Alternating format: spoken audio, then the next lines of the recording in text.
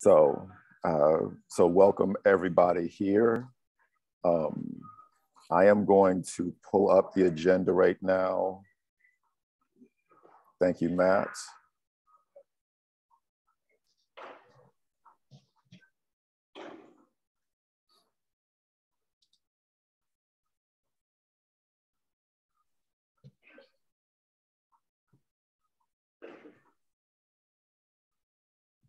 Yes.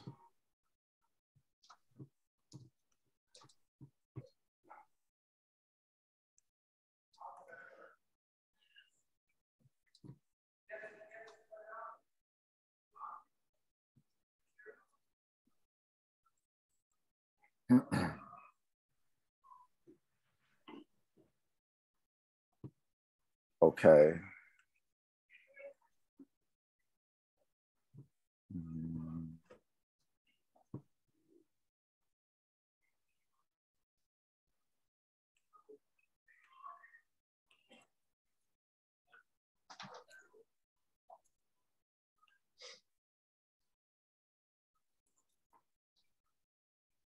Okay, uh, first of all, um, they're going through the procedure at the, at the beginning. Um, Matt Kane is on for notes, correct? Minutes. Uh, I first would like to uh, um, um, uh, approve the minutes from March.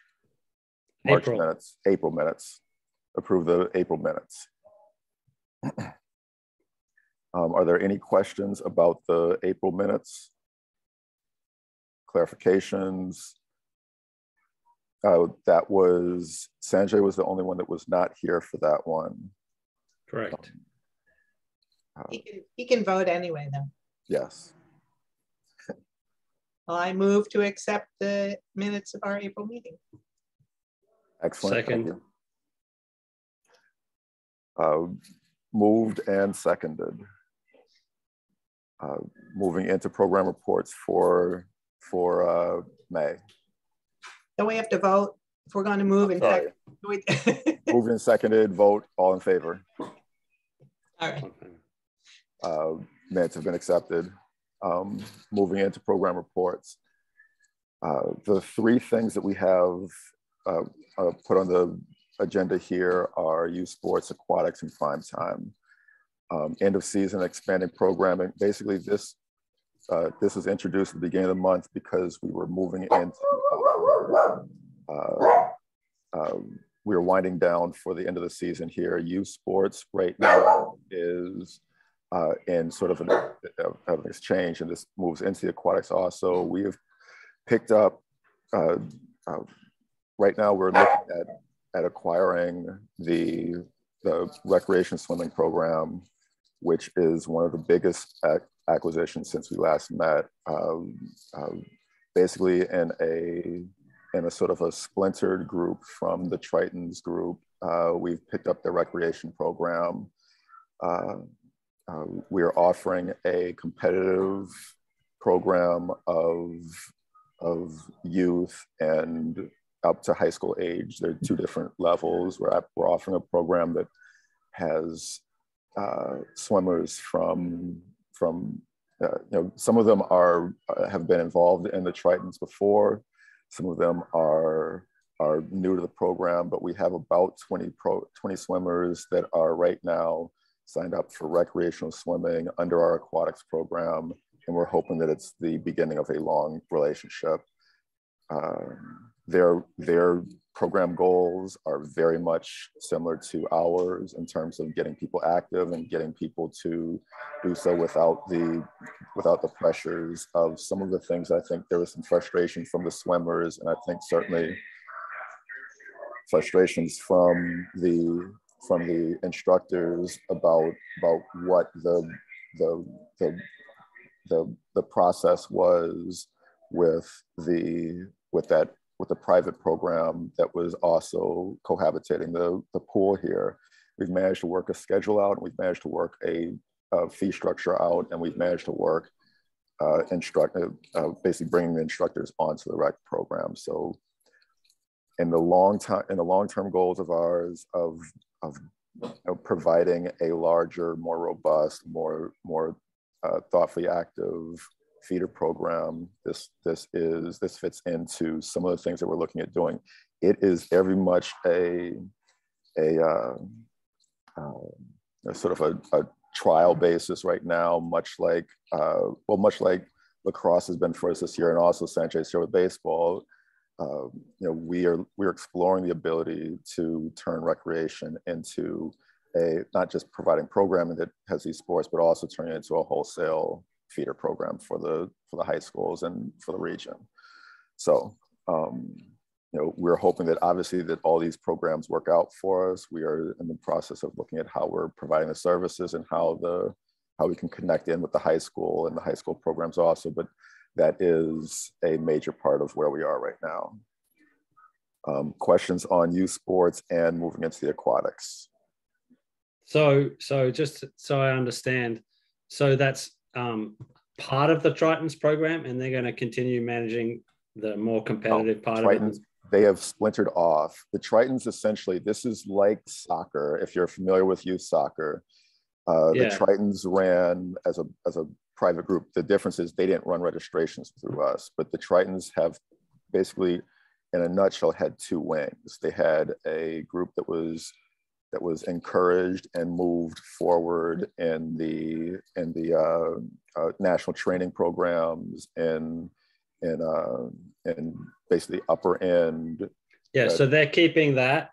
They're keeping that. Right, that is still passing off. So they're going to train somewhere else, and this is they're, group they're trains still, the... the the Tritons still have.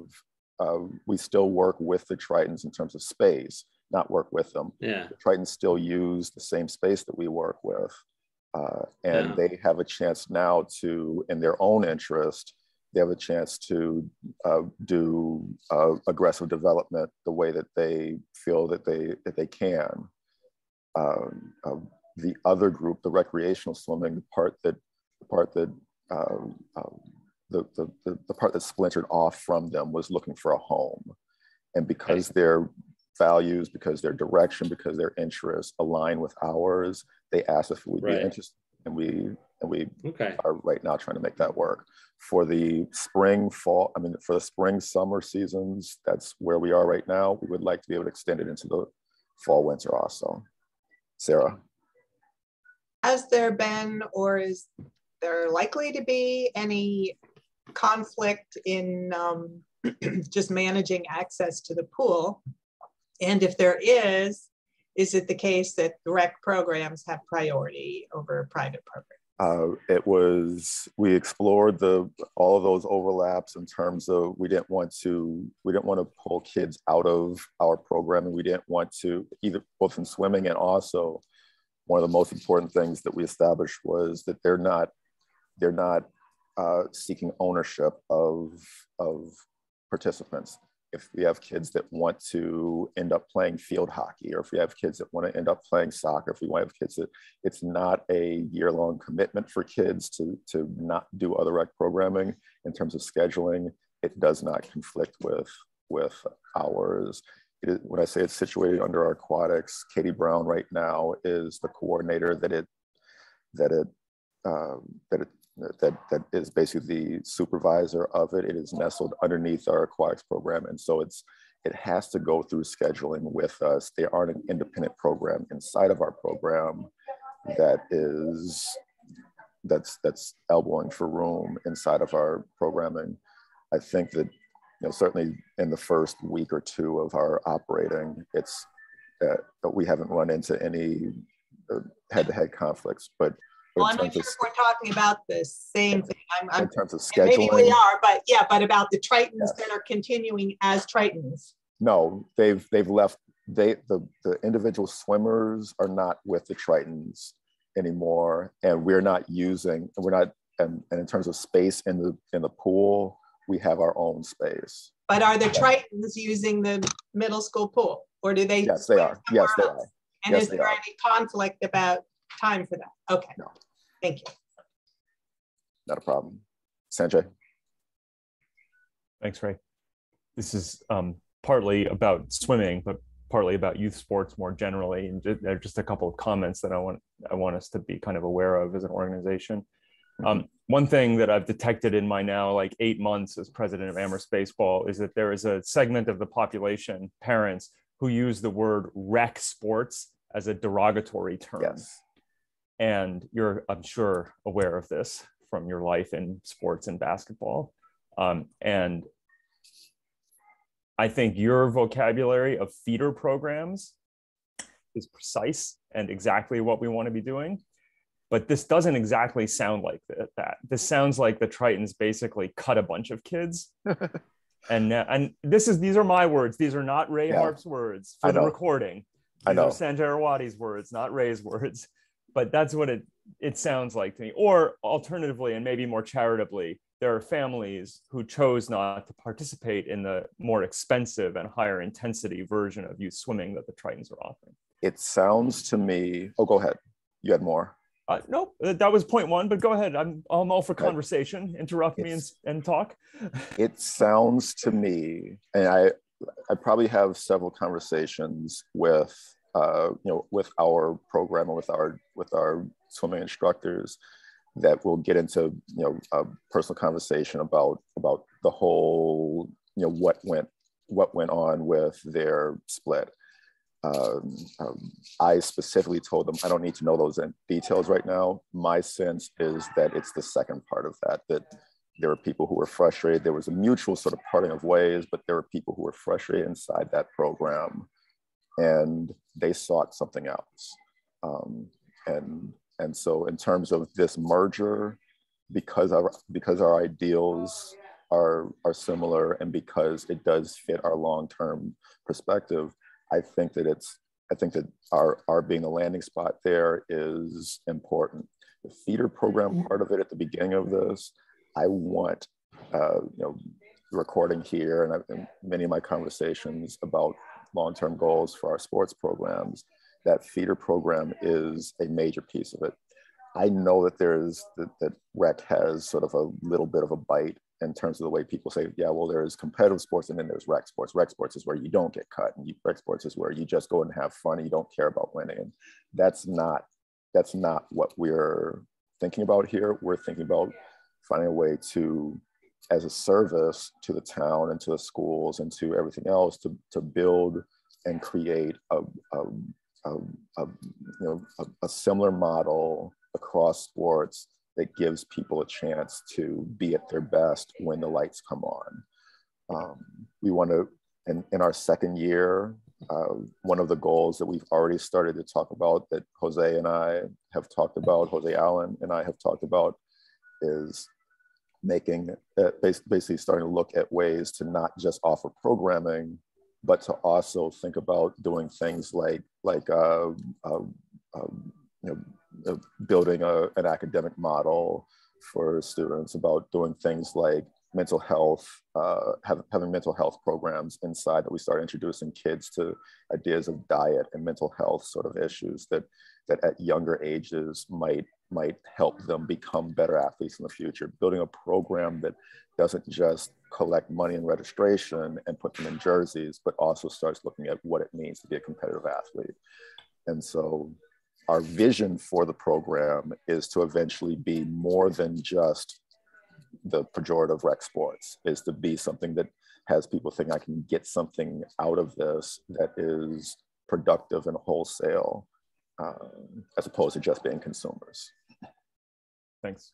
And so this the second comment I wanted to make is more related to finances and uh, my again just my opinion but if we have a private youth sports organization, and again, I'm not speaking specifically about the Amherst Tritons, I'm speaking generally about youth sports, even though it's swimming that has brought this to the table. If we have a youth sports organization that is not meeting the needs of all members of the community um, and is perhaps specifically not meeting the needs of members of the community with fewer financial resources or less, and I'll put this in air quotes, commitment, right? Then I, I would argue that Amherst Rec and the town should impose a greater financial burden on that organization and the the families and participants that have remained with it you know to to maybe be more quantitative, yes. the Tritons should cover the costs of the rec program that you are now running for them. Uh, and again, I'm using the Tritons only as an example because that's the sport subject sport on the table right now. But I mean that comment with regard to all youth sports. And again, that's just my personal view of the situation. Where does that in conversation here, where does that align with baseball in particular? We can we can have that offline also, but how does that how does that overlap with the baseball discussion? Well, so my I'll be very brief because I don't want to get too parochial here. My answer to that would be that the baseball program that we're running well did not make cuts and is welcoming with full financial aid supported by the private organization is welcoming any child in the age eligible range that wants to participate in the sport. Okay. Um, I mean, we're we're in the process. This is going to be uh, does this come up here? Um, maybe it does for me.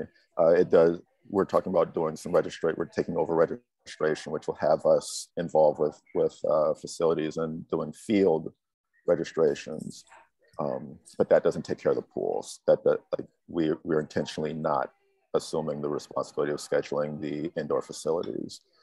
Um, and scheduling is a major part of that, picking up the cost that I think you're referring to there, Sanjay. Yeah, I think yeah, and you know, whatever again, pool uh, whatever pool time costs. Yeah, yeah.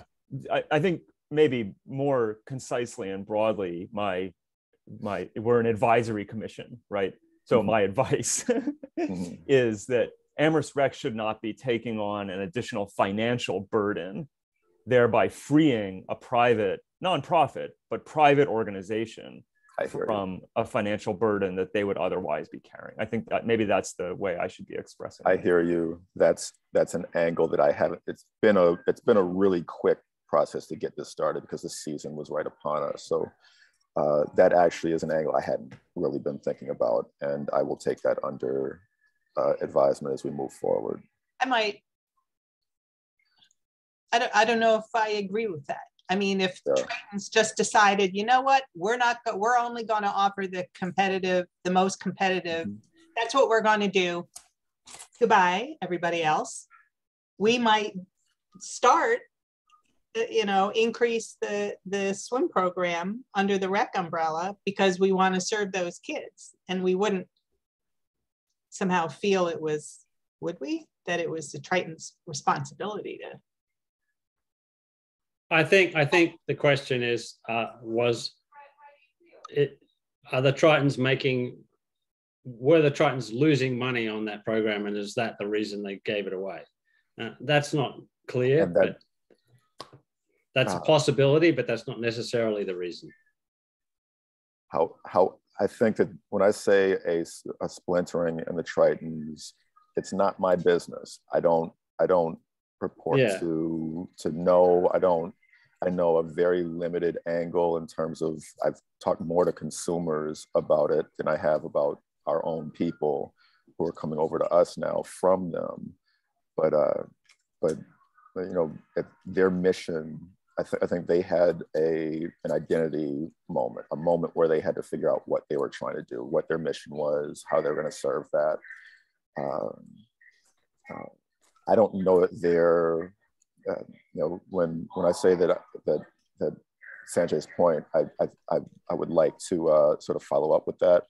I I uh, I don't know what the nature of the Triton's relationship with the town is and should be, and if and if they if they owe something to us, I, am not.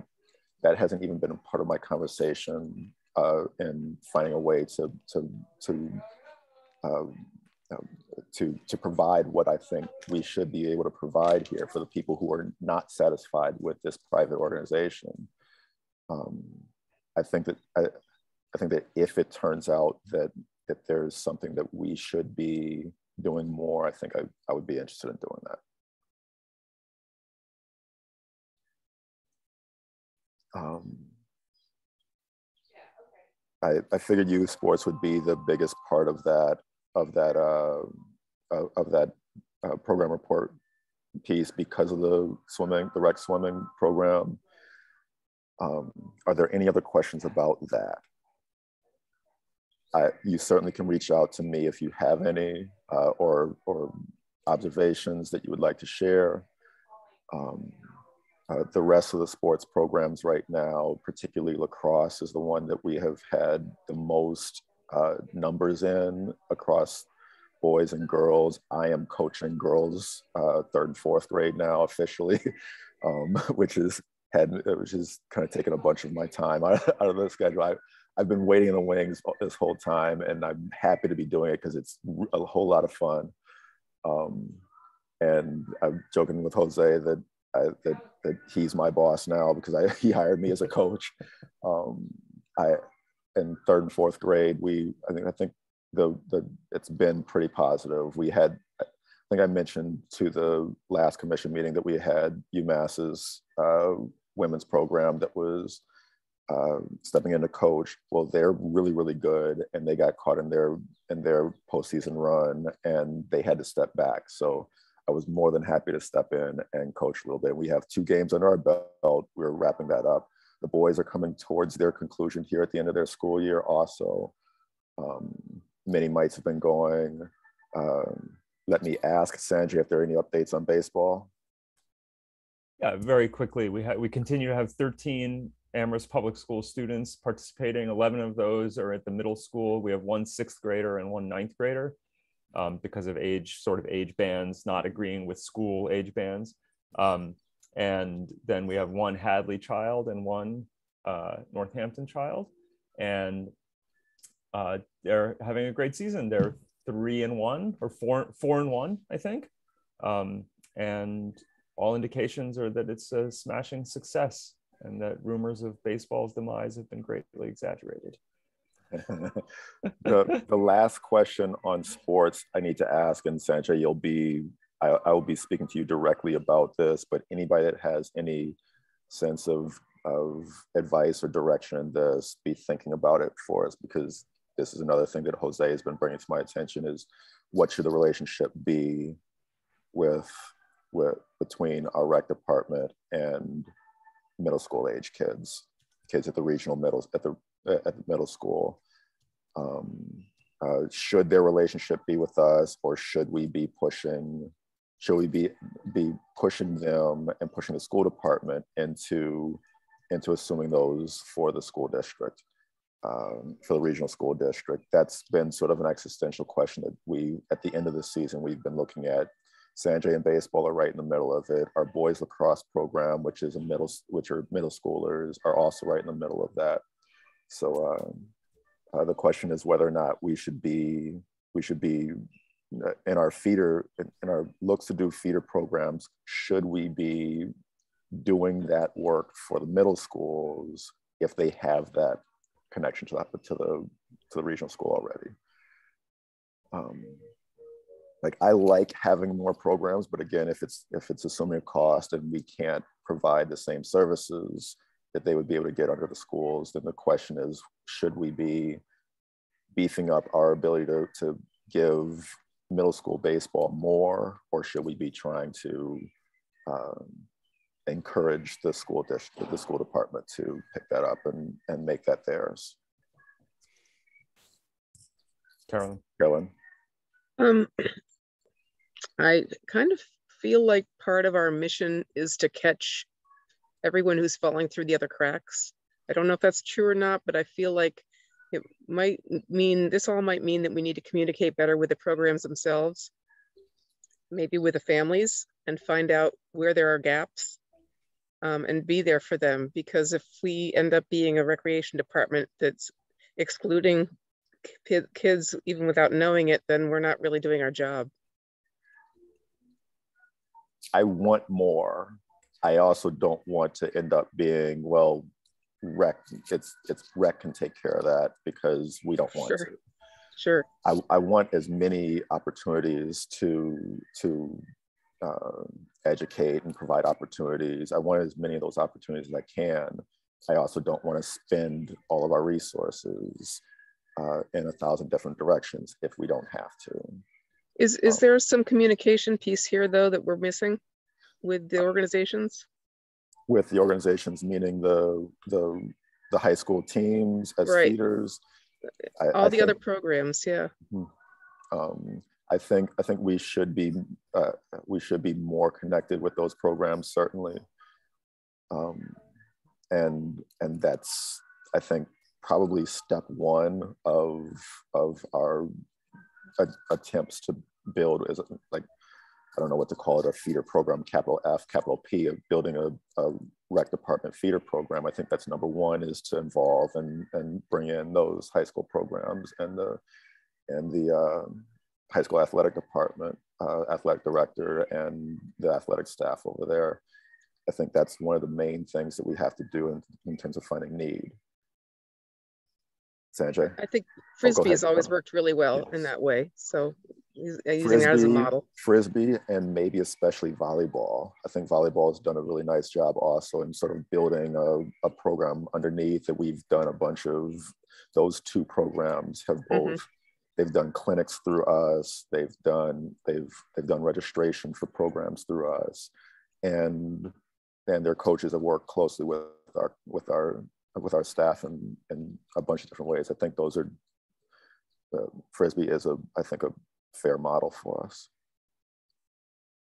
I, so I do think you're right, Carolyn and Ray, that that the conversation has to happen with the public schools athletic director and the principals and the superintendent, right? Because I think the public schools need to need to be more clear about what their intentions are regarding middle school athletics. It it I think it seems very haphazard at this point. And again, I'm not speaking solely about, I mean, I'm interested in Yeah. baseball, right? But it's not just baseball, it's Nordic skiing, it's Mhm. even volleyball, it's soccer, you know, th- there are many sports um, for which the um, the treatment seems haphazard from I'm looking, I'm looking at the spring registration information, you know, and at, at the schools.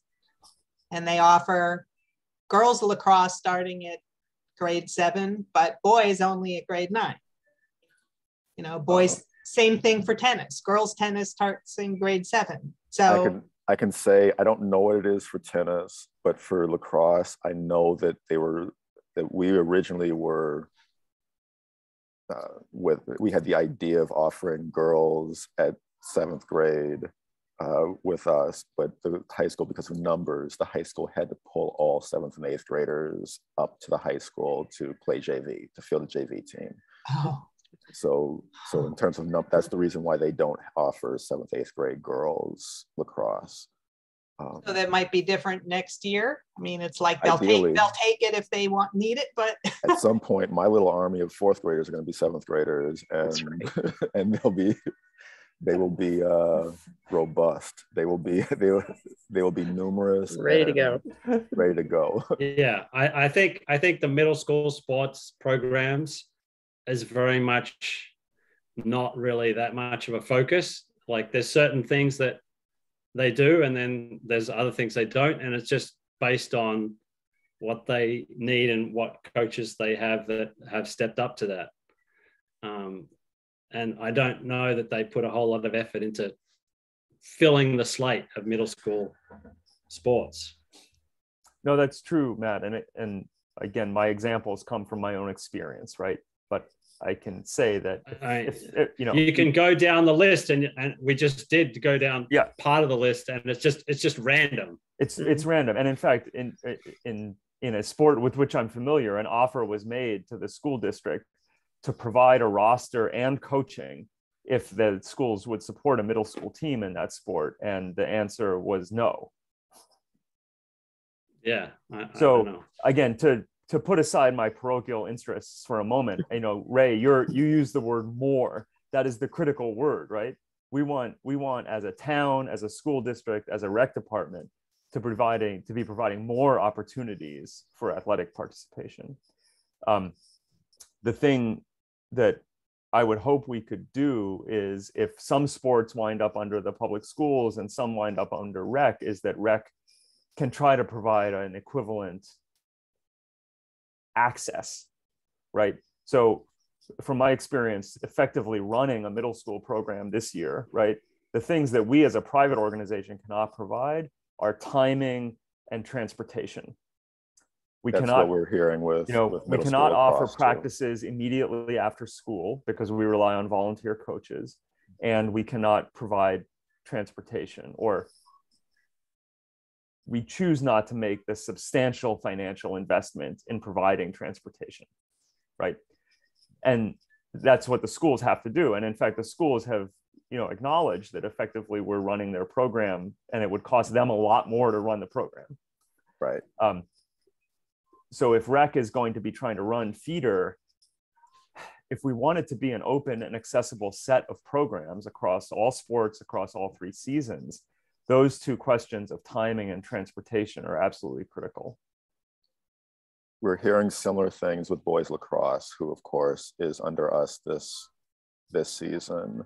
Boys lacrosse at the middle school level, they're they're coming to us as different than you're coming to us with baseball, in that they were with the schools last year, and so they had the school umbrella last year, which had an addi- I think the other piece that's attached to that, in addition to the two factors that you mentioned, is also field care. Is also they have DPW.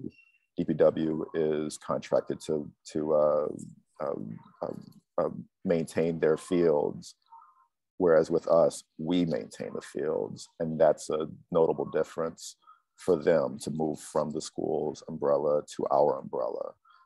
Um, and so two different approaches, baseball and lacrosse that we've picked up this year and how that works into, into like what you all get in that process, what you all are provided, the, the resources you have, transportation, of course, is mutual across the two. Um, we, uh, you know, that's, uh, it's, it's, a, it's a similar sort of question that we have to ask about, okay, if we're providing those opportunities for the middle school kids, is there something that the schools uh, are we doing the schools a service that that that that means something more than us just filling those cracks uh, us us providing uh, opportunities for kids who are who don't have the, the opportunities provided for them yeah but i think there's there's another factor which is also like in high school sports you know there's established sports leagues in each sport it's pretty consistent across sports but when you get to middle school sports, like um, for example, there's a middle school track and field team, but there's not that many middle schools that have a track and field team. Right. And I don't know the the the bas- the baseball team. What teams are they playing against? Are they playing against school teams or are they playing against club teams? The team that we're operating. Yeah. So we're playing in a non-school based league um, right. But for example, Frontier has a middle school team. Okay. And they're only 15 minutes away. So I don't I haven't researched their So you feel you playing. feel it doesn't even if even if they're not playing in a school-based team, it's fine if they were a middle school team could just play in that. Because in, in in soccer, I don't think I don't know that there's middle school soccer leagues.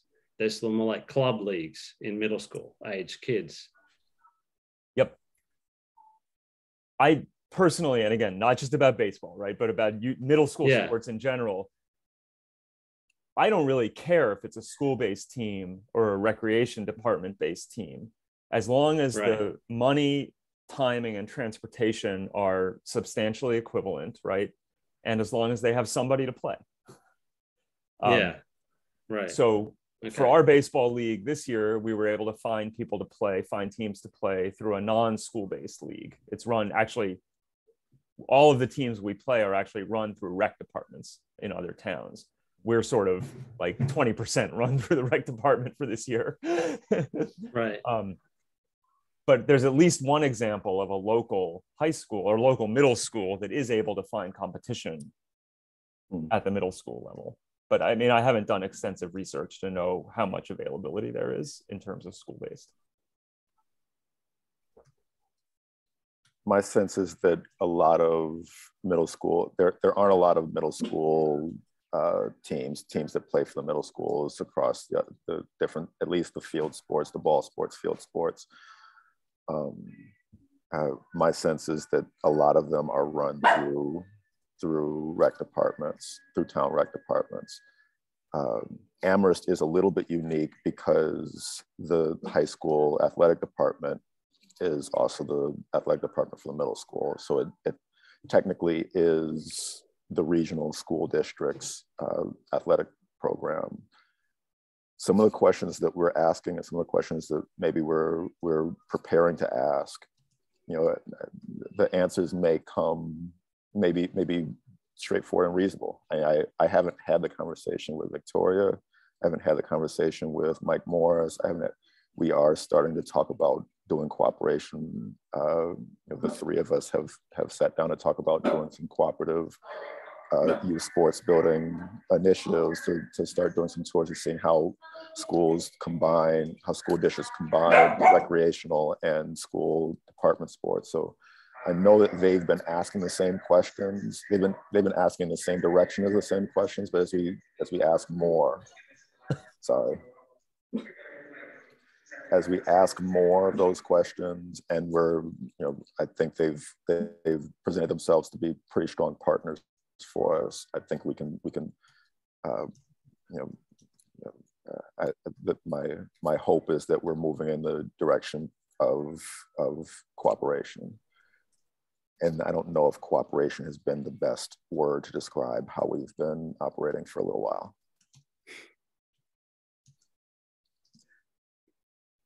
Um, I just realized I'm wearing a Northampton soccer shirt in my travel. I apologize to you and everybody who's watching at home. Where's that hat? Where's that hat I gave you? I, I, am telling man. you, I, I am wearing I'm wearing maroon underneath. This is this is uh, this is this is my new life here. Um, so. Terminal, terminal, Ian Williamson. And to report to the information desk, lower level to retrieve your property. Ann Williamson, report to the lower level information to your property. Thank you. I thought there would have been more of that here. Uh, so if there are no questions, if there are no other questions, be happy to spend more time on the jock stuff. That's uh, that's that's fun for me.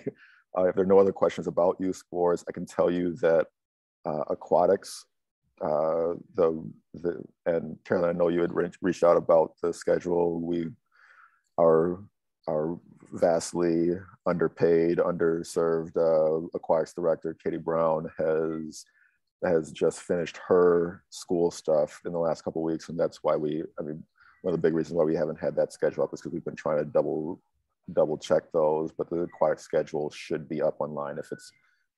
I, I think that the plan was to have it up on Friday. Yeah, I saw it today. Good, excellent. Um, that and so and so in terms of lessons, in terms of uh, in terms of open swim schedules on and and the opening of the outdoor pools, that should be up. Splash pads were just open this weekend, but there's a little bit of a problem at Groff Park, uh, and so we're it's going to be shut down for another week. Um, but DPW actually reached out to me on Thursday and said it's going to be hot this weekend, and we're we should be ready to open the splash pads. So let's get those get those up and running. Um, uh, I don't know because it's been a while since we met, but I I don't know if we had the the uh, if I mentioned to you all the the collaboration with the senior center. Um, we are right now working on the details of it, but we have a cooperative uh, event planned with the senior center, which is movies by the poolside. Poolside movies. We're going to try and show Jaws, and we're going to try and show Cocoon, uh, uh, which I'm really, really excited about. But um, we're we're going to. The original plan was to try and get War Memorial because of there are a bunch of different reasons. Number one, because it has Wi-Fi, and we have a Wi-Fi. Um, we have a uh, we have a, a internet uh, projector, an internet-based projector that we thought would have to work there, but I think we're going to try and get it at. We're going to at least explore the opportunity to bring it out to Mill. Facilities are better out there uh, to run it, but we're going to, you know, basically invite invite people to come out and watch a movie, sit poolside. We're going to try and illuminate the pool so that we can, we'll have lifeguards on duty and just people can basically watch it from the pool. Um, pretty, uh, pretty, uh, I don't know which, if, if Haley or myself are, I don't know who's the most excited about offering this to our constituents, but this is, uh, this, this is a pretty fun uh, venture here. Will Sarah. people be able to bring their floating, you know, chairs and Yes. scoops and We you thought have about to be treading water for we might even put like little shark fins on on like on like re, like like refreshment trays and send them around the pool if we want if we can. We, we're thinking about it's not it's it's not a uh, uh, it's not a, a a a charge event, but if we want to. Uh, know, if, if we want to try and reserve spaces on the pool, we might end up trying to do that. Um, um, again, we'll have we will have uh, lifeguards on duty. We'll have like you know, there's more space at the mill pool to uh, sort of have people be able to get up and move around on the outside if they want to. Um, It has to be after dark, right, Ray? yes, yes, It's gonna be fun. yes. It will have to be after dark. I would, I would, I would also have fun if we couldn't do it after dark. But yes, it's going to be after dark. It's definitely going to be after dark. Uh, if it's at, if it happens at war, the plan is to have the the uh, inflatable screen on the basketball court and looking down on the pool. Hmm. Uh, either spot, we'd like to try and set it up so that if people wanted to basically, uh, you know, you know, pull up and sit in their cars and watch it from outside, uh, from outside the gate, they could. We want to try and make it so people can Wow. basically do an old old school drive-in. Yeah, Um, but but we we still have to do some test runs of it, and that would be in the summer months. I believe it's right towards the end of summer camp. Um, I know because Nikki's the one that's helping us out with the with putting together the the, the projection, and it's happening right at the end of her her camp her camp time. Um, so. Uh, uh, sports aquatics prime time. Uh, that I guess that was my link in for aquatics. I was thinking of it when I was thinking about aquatic stuff because I'm I'm thinking about opening the pools. So uh, lastly, and okay, we're 7:55. That's fair. Uh, project updates. Uh, uh, I attached in collaborative projects on your on your. Uh, um, this was my meeting with Paul Bockelman. Uh, uh, earlier, basically looking at what we're doing at the end of this fiscal year. Um, the three projects I can share screen, I think here, and I won't. I know I won't have to do a lot with any of this. Can I share this? Um, for some reason, it's not letting me share.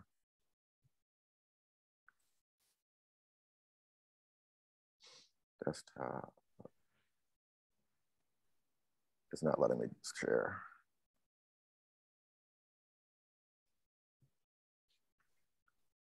I have the button, Okay, you but but I don't think I have the document or whatever. Don't you? Do you not have the green share screen button? I'm looking for it. I just don't have, I do have the share screen button, but but it's not. Let me see, desktop. For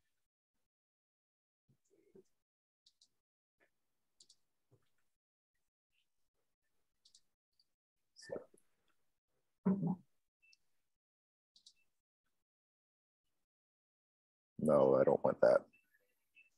Cancel. It didn't come on, did it? No. Do you Um, want me no. to see? You want me to see if I can share? it? Yes, please. Oops. Oh, hold on. Share screen. Oh, disabled participants can't do it. Okay. Uh, I'll make it quick. Uh, uh, I've already talked about the feeder programs. There are three. There are three categories that were printed on here. One is rec manual. One is feeder programs. One is field scheduling. rec manual is not irrelevant for us, but that is that's us working with uh, collaborating with finance, the finance department to sort of build a manual that allows us in recreation to know our operations, to be able to know and present our operations, which is something that we didn't have. A lot of our stress over the course of the of this year so far has been the fact that we've been trying to basically build the plane as we fly it. Um, uh, we've we you know with new people all over the place, we have different components of our of our um, uh, uh, financial operations that are sitting down with finance to basically put in writing what what we do. A lot of it's been point of sale up to this point. A lot of it has been has been uh, expectations of our staff, expectations of of of our program directors. That's been the sort of things that we've been trying to spell out for, uh, you know, in case in case we have to go through another couple major transitions here in the next few months, which I don't think we will, because I love my job and my staff loves their work, so we're all going to be around here. Um, but the rec manual is one. Feeder programs I just mentioned, I don't need to spend more time with that, but feeder programs is basically as it's our long-term service vision. Uh, we're looking at we're looking at the opportunity to build a feeder program and to think about what a feeder program, capital F, capital P, should look like for the school. And so we're uh, early stage of collaboration with the schools. Like I said, I've I've spoken to Mike Morris and Victoria Stewart about about uh, the first steps in in that exploration. Last piece, which I mentioned before, is field scheduling. We're in a conversational stage of collaboration with the schools and facilities about recreation taking over scheduling for the fields. Um, uh, you know, there's been a load of confusion in the past about about uh, who has priority access and the hierarchy of that access. There's been a load of of issues and confusion about whose responsibility it is to do things as simple as take out the trash, who's who's responsible for mowing, who's responsible for grooming. Like DPW's been trampled by the by the various uh, uh, uh, expectations of all the departments that they serve. Um, and so one of the things that we're looking to try and try and do is we're trying to build a scheduling model that allows recreation to do that and to, and to pick up that burden moving forward. Facilities, I don't think, you know, they, they have a ton of things that they have to do also. I think, I think that maintaining the number of times that we've sent people, maybe even some of you all, I'm thinking about Sanjay in particular, but the number of times that we've sent people from our offices to facilities and they've come back to us and said, no, they said that we should talk to you is, uh, it's an unfortunate part of being in a bureaucracy that has so many different uh, masters. Um, and so this is one way for us to try and serve the public, serve our departments, and certainly serve the, the uh, people who use our programs. Um, um, and it and it loops over in the future. Ideally, it loops over as we start talking about the track project at the high school, because that would also be something that that allows us to uh, uh, you know, have have have a role in that process and to make that more efficient because we don't want to have that process come in and then and then to to again be looking at three or four different offices where you have to go to try and find out how to make something work. Sarah. Do you mean that the vision is that rec schedules, schedules. even schools fields? The school's own fields? All public fields is is all fields where we do programming where where there's cooperative programming basically. Not necessarily for the schools fields. If there's no if if we don't have any use for it uh, if, if there's nothing that we do with it then we don't need to. Uh, um, I don't know that they would want to yield that to to us as an outside group especially we, the regional schools. The regional, the regional, that would mean that would mean involving people that are much bigger than the town right, here. But, but the, for track, town the track, the track, will, yeah. That, I have that um, when I say I that, think.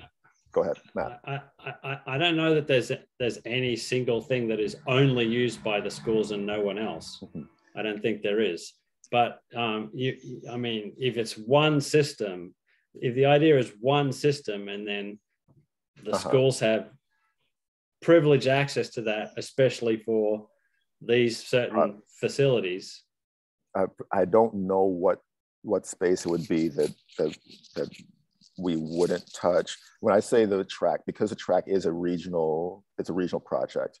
I've I've mentioned one of my support letters, and as I've mentioned in a bunch of our public meetings, is that our recreation department would be willing to take on that responsibility uh, of scheduling that field, knowing the hierarchy. Um, um, and so that doesn't automatically come with our our scheduling town fields. Town fields, for example, the, the very basic, the, the place where we need to clean, that we have a priority of cleaning up are those fields that potentially the school department bumps us from that we have access to. Uh, there, there's, uh, again, Sanjay's in the room and, and, and with baseballs, with, with our moving into that, that cooperative uh, um, um, uh, and moving into and taking baseball under recreation, there are all sorts of different overlaps there where the field that uh, um, you know we had to we had to iron out a bunch of those different pieces. We're using school fields, we have rec programming, Yeah. and so having one program there, having one Right. I'm sure there's there's plenty of organizations, baseball, soccer, swimming programs that are using school facilities and town facilities. and so and that would it'd be, be, much better if there was one system for all of those and they don't have to separately deal with Right. one system for the school facilities and a different system for the town facilities. Yeah, so I would just, I would uh, uh, support that. If there's some, if there's going to be some consolidation of scheduling, should be all uh, be ambitious. yes. Okay. Be very, very ambitious. And then Okay. and then if you have to give the schools the priority Right. access to that for their facilities, yeah, yeah, This then, doesn't then that's part of it. this doesn't happen unless we are able to uh, uh, it, it doesn't happen unless we're able to acknowledge what that hierarchy is for school fields Yeah. um, i'm a i'm a varsity uh, coach i i know how how you know varsity access to to school to school uh, um, facilities. I know how that how that should be and i it's not our intention to ever uh, sort of supersede that piece of it. But but you know and having that hierarchy and maintain that hierarchy in one place where we don't have to ask it also helps i think it helps our our serving those with dpw and understanding school department or dpw who you know, have a schedule of of of events that are happening. Their dpw dpw's biggest complaint uh, has been overscheduling has been the fact that that that there's not one central site for games where they can find out okay uh, when do we mow these fields? Because schools use them rec uses them there's you know we rent them out to the public who when do we when when can we get over there and treat the fields um, and so having one site will also allow departments that serve the fields that, that gives them a, a chance to to um, better serve the public in doing so. Um, and so that's a conversational stage right now. I've had a conversation with facilities about that, and it's been a conversation about it, and they seem open to the idea of of moving that to a central site that helps everybody. It would not include, like I said, it would not include the swim pools and the gyms. Um, um, that's um, you know, you know, maybe if I, as Sanjay says, if maybe if I if I turn ambition into the into the the, the you know the the drum major here for us, maybe I say I want to take I want to take the auditorium and I want to take the, the I, I, I was just speaking of outdoor facilities. Yeah. I, I think that indoor facilities are the the possibility of some of two groups showing up at a pool, both thinking they have it, seems much slimmer agree. than the possibility of two groups of people showing up to a lacrosse field. I think the soccer field. possibility of two sh- groups cr- showing up to the basketball court thinking they both have it is pretty high. Wow, Well, and there those That's true, spaces. but but that was entirely scheduled by the school district. Oh, oh, I got I just got the reference. I see. Okay. So that was centralized, and it that still that, that happened. isn't the only time though. No, I I know, Matt. I know. I just I just got that reference. Well, I would point out that, of course, those spaces are used for many things other than Mhm. athletics also. And I don't know, the rec department would have to get deeply involved in the life of the school, you know, to know when they have assemblies and performances. I am not opposed to getting involved in the life of the school. Uh, It, it doesn't it doesn't mean that other people don't have editor access. right, correct. Yeah. Um, the the the one place, the nexus of our life is when uh, there's rain and and tennis comes inside, or when or when there's rainouts and fields have to be have to be rescheduled and that sort of thing. That's where that's where it gets dicey. If it's just a spreadsheet that I can release on, on the beginning of the season, then that's that would be different than if there aren't moving targets as you move along. And so it is a little bit of labor. It is something that I've already talked to my staff about about where it gets housed in, in recreation if and when that happens. But I think that's uh, I, I think that that uh, And- I, it is something that I think we need to have happen. So Ray, I'll, I'll reiterate something from earlier that you know be be ambitious but be careful. Mhm. You know, you're you're talking about over the course of the last hour and 10 minutes, rec taking on quite a bit of new responsibility. Um, where's the where's the money coming from to support that admi- additional burden, right? Correct. And so with programs, you at least have registration fees.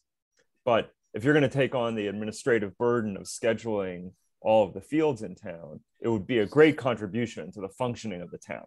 Don't get me wrong about that, right? But you should be prepared with our with my and I would hope with the commission's support you should be prepared, prepared to stand up to town hall and insist that you be provided resources in order to enable that administrative action. Noting for myself with exclamation points, I appreciate it. Yes, I I I I hear you, and that's well that that's I think that's well reasoned. Um, uh, I, I when I say uh, we're we're already working through the rec manual, that's collaboration is underway. Early stage of collaboration with the foods with the schools for the feeder programs, and of course conversational stage here. I won't be committing to anything unless I know that we have the uh, unless I won't overburden my staff with with something like this without knowing that that's taking them at least partially away from some of the things that we're already burdening them with in our department. Um, and so there there will be some things that we ask for in that process. Uh, I would not pick up this many things without I like I didn't we didn't ask our staff to do the aquatics uh, when we bring bring the rec swimming. We didn't ask our staff to to add to their burden. We brought instructors in and put them into our into our operations. I would not make those those moves if it if it meant increasing the burden on my staff and then the operational resources what you're talking about i think that that, that is in that conversation someplace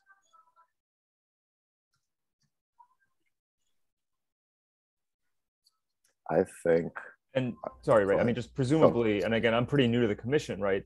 Uh, and it's a it's still a little bit strange with you acting as kind of de facto chair of the commission, but presumably this commission can draft a letter, right, that explains that as an advisory commission, we endorse Amherst Rec taking on this responsibility, but at the same time, we recommend that the town through its budgetary process, right, and through the finance committee, allocate resources that are needed to accomplish that goal.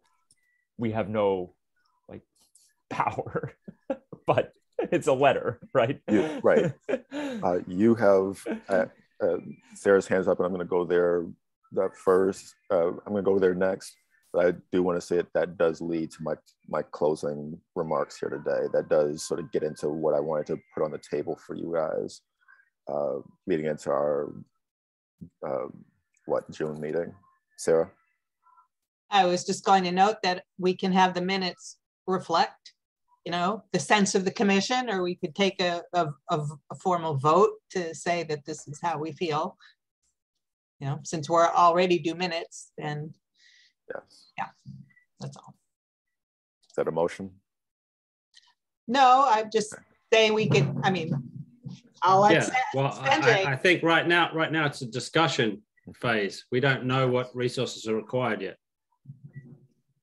Right, but I think Sarah, what you're getting at is that there are multiple ways in which we could make the opinion The of the voice of the committee more formally known, Yes. right? And whether it would be unanimous or divided or whatever, but there are ways that we can actually enter into a public record the a recommendation or a piece of advice from the commission. Heard, understood. Um, the, uh, uh, we're over the time that I had intended to be out of here. Uh, the, the commission, the, the, the agenda includes track and field renovation, which I don't have new information other than the fact that it was cleared by the, by the, I believe it's been officially cleared by the, by the five town, by the four towns. Um, but I know that the town of Amherst passed the passed the resolution to do the track and field to to accept the track and field. Oh wait, Sarah, go. town council had to had to take an action, had to authorize, I don't know, had to authorize something simply so this exploration could move forward. The town has not committed any money, Correct. Okay? But the track people are gonna, or the regional school folks. Demon- They're coming demonstrating. back to CPAC next, in two weeks with a revised proposal. Fund, fundraising. And then, and- and then we will, you know, and they'll be asking again, I- okay. I think for the same amount, but I don't know because I haven't seen it. Okay. Um, and that they, env- they envision CPA funds from all the towns as being part of the, part of the plan. Understood.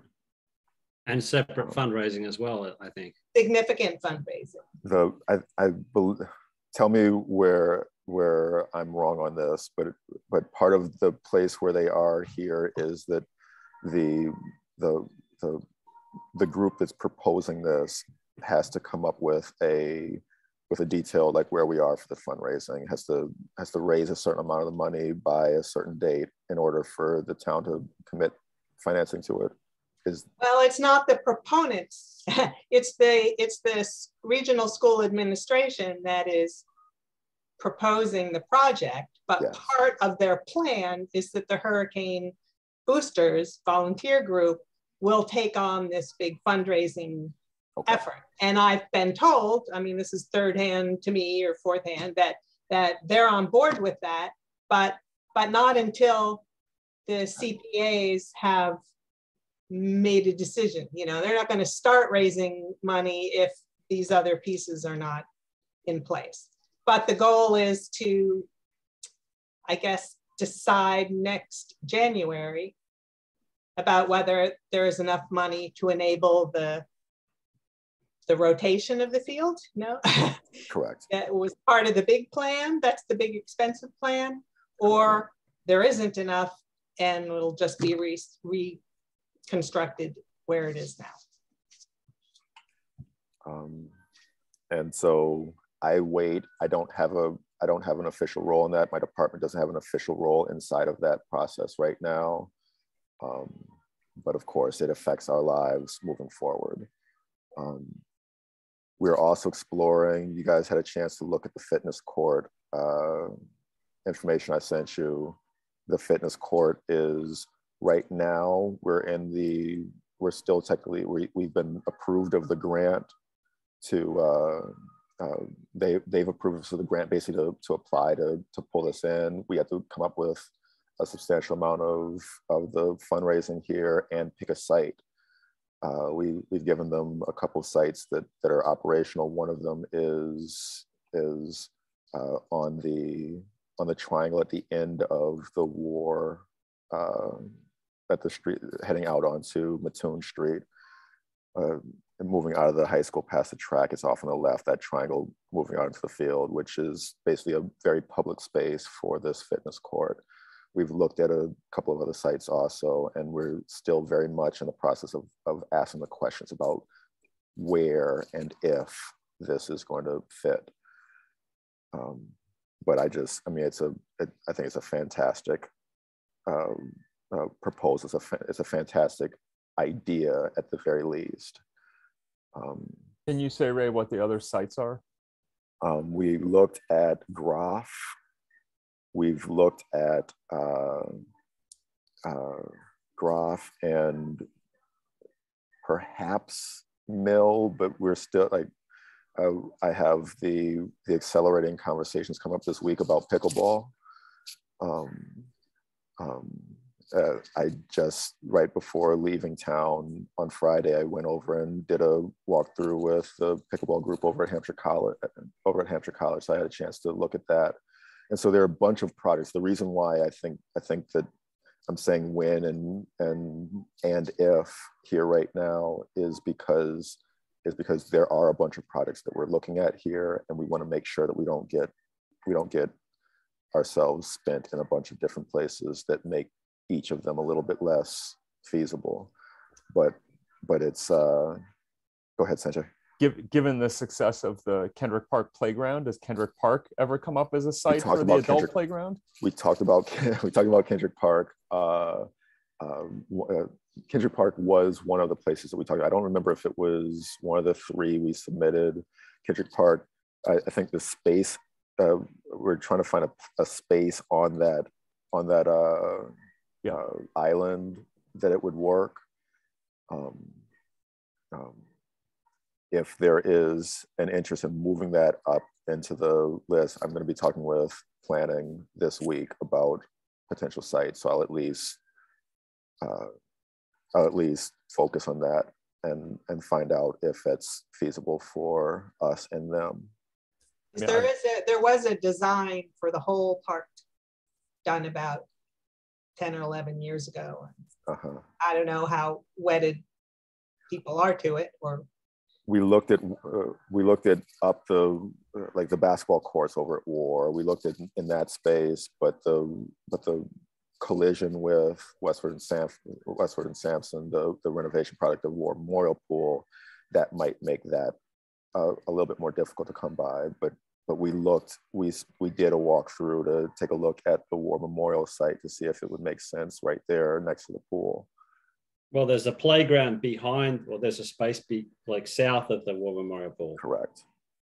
Yeah. Uh, I'm, I mean, personally, I would urge caution regarding War Memorial. It is, it is not, I think it is easy to think of it as a magnet site because of the pool, but the mm-hmm. reality is that the pool is only open for six weeks a year or something right. of roughly that duration. And the rest of the time, it is not. It is not a particularly appealing location, frankly. Parking is difficult, especially during the school day. Park, parking is the was one thing that we we came across in our walkthrough that we said it was going to be an issue. Yeah. Um, hmm. and yeah, I mean, I like downtown. I think that, you know, I have friends who thought that the playground would be a disaster, that no one would ever go to the playground, and they were wrong. Okay. One town has reached out to me uh, last week, uh, reached out to me and said they loved what happened, loved the playground at Groff and wants to know about our process of making that happen. And I said, I said, I, I, I love that playground, the spray pad and everything that's over there. I, I, I, I loved it the first time I walked through there. I said, you also want to take a look at Kendrick. You probably haven't seen Kendrick. You haven't seen it on your research here, but take a look at it. And they've asked me a couple times about, about that process now also. Um, and so I think it's a, uh, you know, that certainly has become sort of a, a highlight of the downtown scene right now.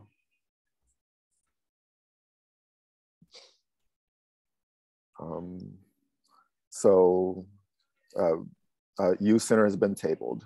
Uh, not tabled, but we've sort of we're we're it's very much still alive right now, uh, but we're changing course a little bit. Where it was my department that was that was running the feasibility study.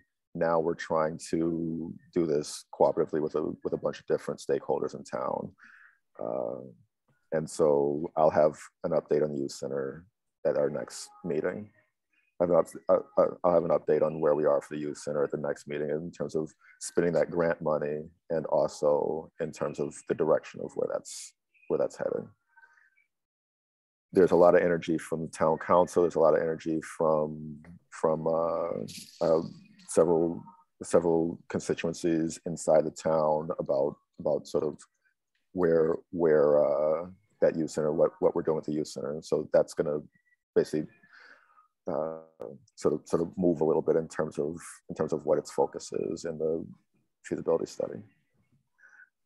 Um, uh, so uh, let me just say uh, before I open for any other questions, any new business or anything you want me to think about and, and put on the schedule for the next time for me to work on, you can always reach out to me between now and the next meeting to, to bring up any information, bring up any, any concerns that you have about uh, what we should be doing, where we should be going.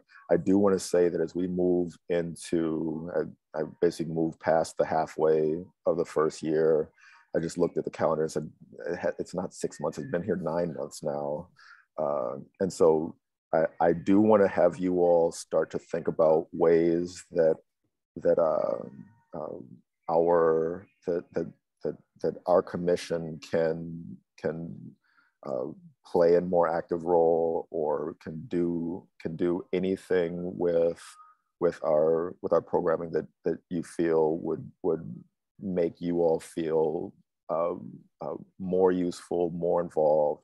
I, I want to I want to make sure that I'm asking you all as I as I start looking at my my evaluation coming up towards the end of this year about what we're doing six months year year into the process. I want to make sure that you all have a chance to uh, uh, um, um, you know think about what it is that the commission can be doing, should be doing here, and share that with me in whatever venues you you feel um, you feel comfortable. Um, uh, it, when Sanjay mentioned earlier about you know it, it, would be great if we as a as a as a uh, public commission were able to make our voice heard. If there's something that I can do to facilitate that voice in particular, I think that's uh, I wanted to make sure that I was I, I left on the table that I want to do anything that that I can or should be doing to elevate your voice as the commission here. Um, and if I haven't been doing that, I don't know, nobody's told me that, that I haven't been doing that. But if there's something that I can or should be doing more to elevate the voice of the commission, then please feel free to share that. Sarah. Um, will, will we be having a June meeting? And if we are, will you be telling us about the Independence Day I mean, if it's more than we, the, the fireworks are already announced. I don't oh, know if there's yes. more, if there's more to the July 4th.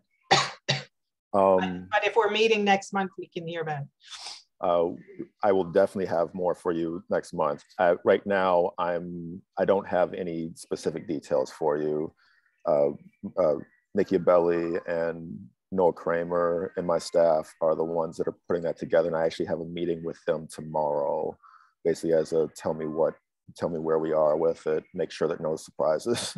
uh, uh, and, and, you know, it seems like it's it's moving along pretty well. Uh, we're we are soliciting for the for the community contributions to that right now, but in terms of the schedule, in terms of the event itself, I will have that information for you. And as a matter of fact, I can even email that to you all before when it when it gets posted, when more information is posted online, and when we have a, a more than the bare bones as to what that event is, I can get that to you all. Let you know. Most of the questions we've had over the course of the last two weeks, most of the questions we've had in the office have been around the aquatic schedule and around Independence Day. Uh, Independence Day, uh, most of those questions have been from the surrounding towns, have been from people from Amherst, from, I mean, from, from Hadley, people from Sunderland that have been asking us about it. So that's one that's going outside of our, our wheelhouse here. I will get that information to you ASAP. Any uh, new business or closing comments? Matt. Um, any update on open commission positions? Um, yes, I spoke to town hall and they said that uh, I, I told them we, uh, I, I, my interest is in trying to fill those ASAP. We have four applicants in from from uh, from before. Their town hall's concern is that the the ratio isn't great to fill the committees, and so I'm, I'm gonna, I told them I'd spend a week trying to trying to encourage to fill two spots, which we're trying to fill two spots right now, the empty position, and and I said, and we're going to need a third. What do you uh, mean ratio? Ratio. The ratio of four applicants for for two or three spots. Oh, you want a larger pool. You want a larger pool. Okay. And uh-huh. so they said that their their their general interest has always been to try and to try and be about four to one on those. We may not get to four to one, and I we had that conversation. I said we may not we may not get to four to one in terms of filling those positions. I think one of those four, I have to talk to her because I saw a name I'm familiar with and she's a UMass student who lives in Longmeadow. And so she just graduated. So I don't know if she's even eligible anymore. I don't know if she may have just filled it out for uh, for other purpose for for like she probably filled it out in October, November or something. I don't know exactly if she's if she's eligible or still interested or what have you. But we have four applicants for th- for two or three positions, and so I said I'd spend a week trying to beat the bushes a little bit and see if I can't drum up a little bit of uh, interest among some people that now I've had a chance to, to, see and talk to some people in town. I think that I might have a couple of of uh, possibilities, but we'll, we'll you know, I, I will I'll turn the heat up on them and make sure that we're getting those positions filled, even if it just means coming from a smaller pool. Sarah. Can you invite people um, to apply like through whatever emails, you know, just have it like a signature line, you know, oh. you know, in whatever. I, uh, uh, is your suggestion, let me see if I'm, if I'm hearing you right, that I could send to basically a, a, a we have program information that I could send it out to people, basically do a, a all town mailing and say, if you're interested in rec commission, yeah, or if you're confirming signups or anything by email. I mean, yeah. I don't know if there are any rules about this, but you must. I mean, you have all these families I, involved, have, right? I would think some of the parents, some of the guardians might. Am I am I not in the right line of work if I'm sitting here saying I don't want to annoy people with mail? I, I, don't. well, I, don't want to. This is mail they get anyway. You put right. it, add it to the. Oh, I see like I'm, I'm thinking sending like like it almost it almost feels like I'm spamming people and saying, hey, I got a great opportunity for you here.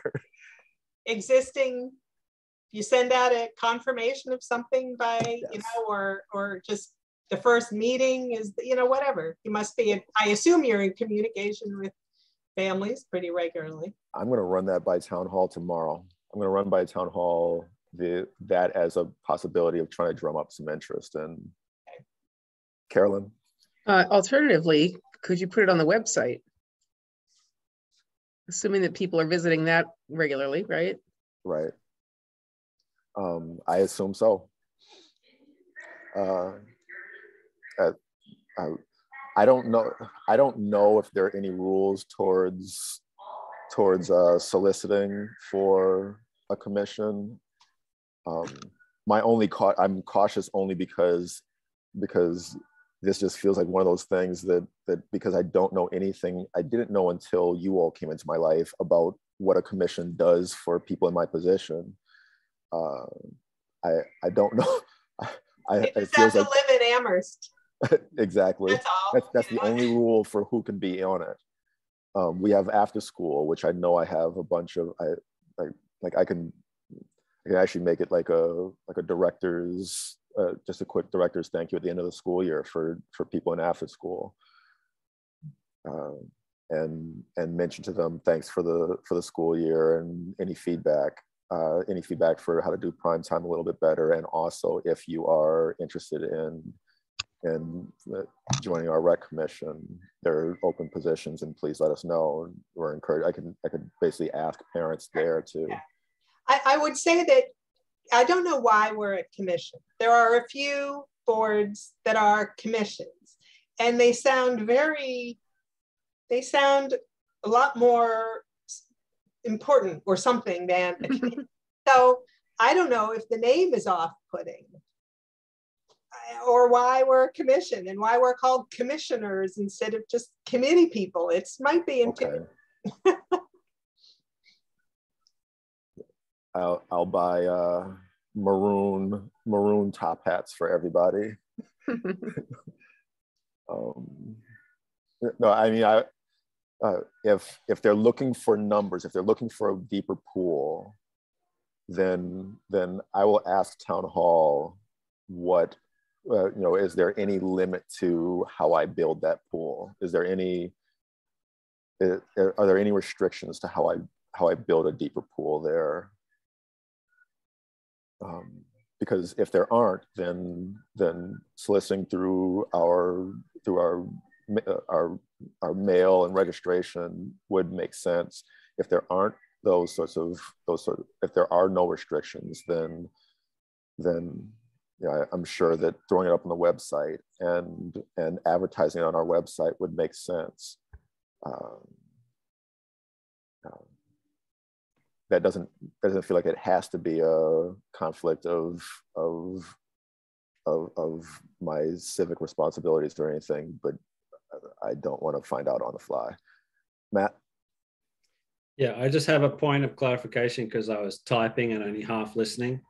So the the movie evenings at the pool, who are you working on with that? With the the senior center. That was with the senior center. Okay. Yes um, uh, uh, and we started talking about that a little yeah, while ago. That's okay. I was just to, a little to, confused because then you mentioned Nikki Abelli, so I was like, Nikki. Oh, I'm sorry. Was it prime Abelli time is, or was it? Nikki Abelli is the one that is that is uh, uh, putting together the movie. We have an inflatable yeah. movie screen that we're using there, right, so right, she's right. gonna she's gonna be our. IT for the evening. Right. Cool. All right. That's it.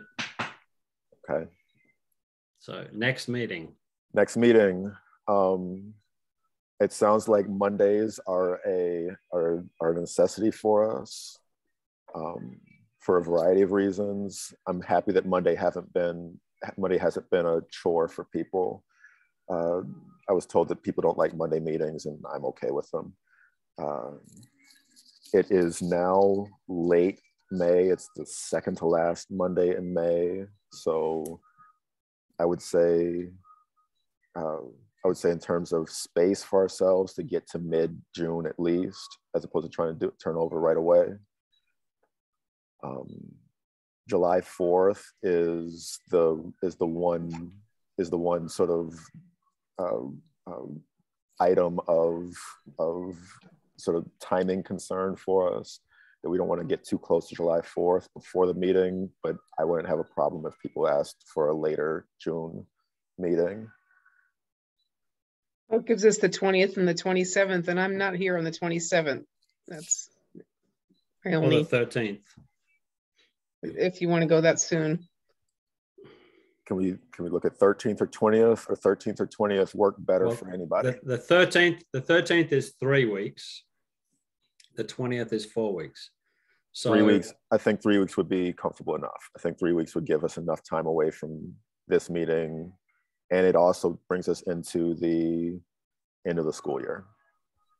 Yeah, I'm going to be in DC on the 20th. Um, mm-hmm. And I, I, six might be hard. Seven might might be okay. I'm not sure what our schedule is for that day. Oh, I thought we were looking at the 13th. Is that not the Can case? we do the 13th? Yeah, the 13th is the 13th is better for me. it's a little iffy for me, but I'd, I'd go for it anyway. Let's shoot for the 13th. Um, that gives us enough space away from today and it's enough space before July 4th. Um, mm-hmm.